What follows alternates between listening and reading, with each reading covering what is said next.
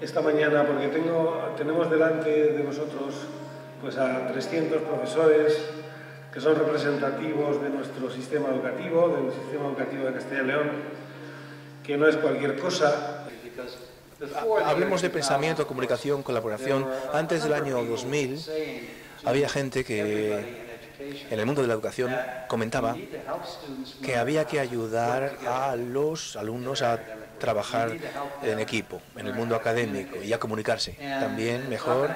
Y eso no va a suceder, se decía entonces, si el único trabajo que hacen son eh, redacciones eh, que entregan al profesor sencillamente para obtener una buena nota. Hay que ayudarles a aprender distintos modos de comunicación que van a utilizar luego en el mundo y en eso habían trabajado ya durante bastante tiempo. Y yo sé lo que la gente está pensando realmente, la gente está pensando eh, pensamiento, porque tenemos que enseñar a pensar, todo el mundo piensa, eso es algo natural.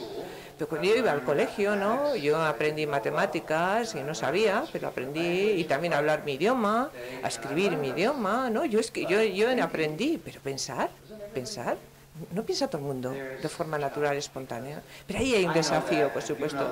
Bien, ya habéis hecho esto, todos ahora mismo, ¿no? Habéis pensado sobre algo, un tema, ¿no? Y al final, ¿no? Pues habéis aportado ideas, ¿no? Quizás no estaba en, vuestra mente hace dos años, hace dos minutos, perdón, ¿no? El precio, el contenido del azúcar, etcétera, ¿no? ¿De dónde procede todo esto? Habéis tenido que abrir el portátil y habéis tenido que meter información, eh, cosas importantes sobre cereal, ¿no? ¿Habéis tenido que hacer eso? No, ¿dónde vienen esas ideas entonces? Si no habéis utilizado este tipo de apoyo digital.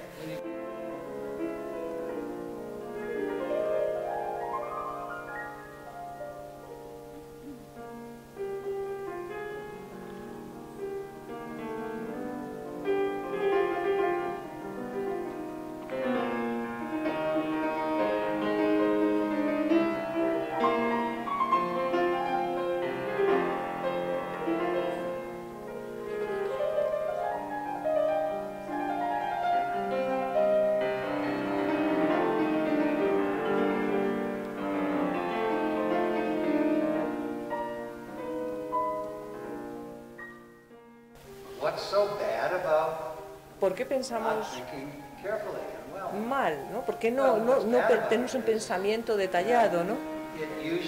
Normalmente esto ocurre por cuando esto ocurre cometemos errores, ¿verdad? La mayoría de los errores que cometemos en este planeta se deben a la falta de un pensamiento detenido, detallado. No, no, no, no sé. No sé si hay alguien, alguna persona de mi edad, ¿no? Seguramente que durante si estás acumulando todo esto durante 60 o 70 años y sigue allí, ¿no? Y esto es lo maravilloso, ¿no? De los seres humanos y algunos animales, ¿no? Que es, es decir, aprender, comprender, no se trata de repetir cosas, ¿no? no se basa en repetir y memorizar cosas, conceptos. Un buen aprendizaje consiste en aunar todo lo que estás pensando ahora con todas esas piezas de información importantes que tienes ya acumuladas para poder de esta forma plantear preguntas, etcétera, ¿no? Ese es un buen aprendizaje, ¿verdad? Y si podéis hacer esto en el aula con vuestros alumnos, estudiantes, va a ser un buen paso. Estudiantes activos, tenéis que recordar que este es vuestro objetivo. Si queréis ayudar a los alumnos a que piensen por ellos mismos, tenéis que hacer esto. Algunas veces tienen todo el material necesario, simplemente es animarles ¿no? para que lleven a cabo estrategias. Otras veces hay que darles información. Se puede ayudar a estos estudiantes. En fin, dicho lo cual, supongo que tengo que dejaros. Me, me encantaría estar aquí todo el día pero si nos quedamos nos van, a encerrar. Muchas gracias de verdad por escucharme.